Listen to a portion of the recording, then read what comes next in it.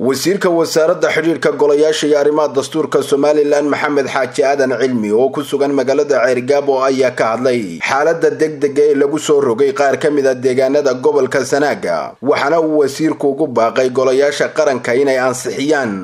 Xukuumaddu maanta madaxweynuhu wuxuu ku dhawaaqay saddex bilood oo emergency degdeg ah. Ujeeddadeeduna waxa weeye in nabadda la sugo oo halkeeda la dhigo.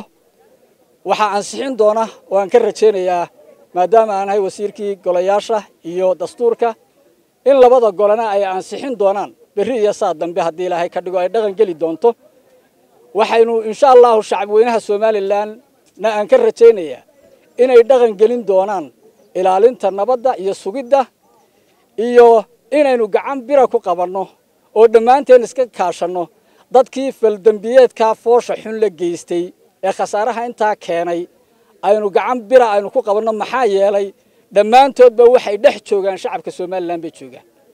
Ama deegaan bay joogaan ama guri bay joogaan intaana waynu isla garanayna inaynu meel uga soo wada jeesanno midnimadeenna iyo qarannimadeenna iyo jiritaankeenna oo dembiilaheenna uu dembiile ahaado oo waxa weeyaan suldaanka wanaagsani uu kaasoo kale ahaado. Cabdiraxmaan axmed ilsar star t v ceergaabo